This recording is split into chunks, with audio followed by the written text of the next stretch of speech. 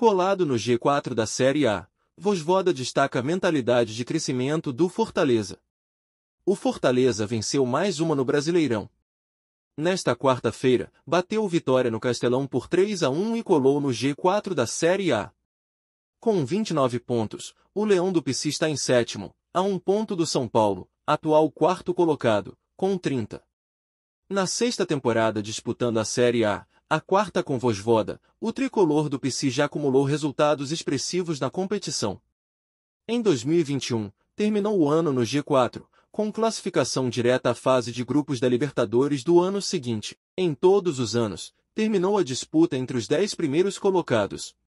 Eu lembro desse campeonato de 2021, foi o meu primeiro. Mas fica um pouco para trás, sempre estou exigindo de mim e dos meus jogadores olhar para frente, afirmou o técnico. Tenho uma mentalidade de crescimento que o clube acompanha. Estamos em um bom momento, temos que continuar jogo a jogo. Temos que ter o maior respeito pelo Brasileirão. Sabemos que temos uma boa quantidade de pontos e estamos numa boa posição.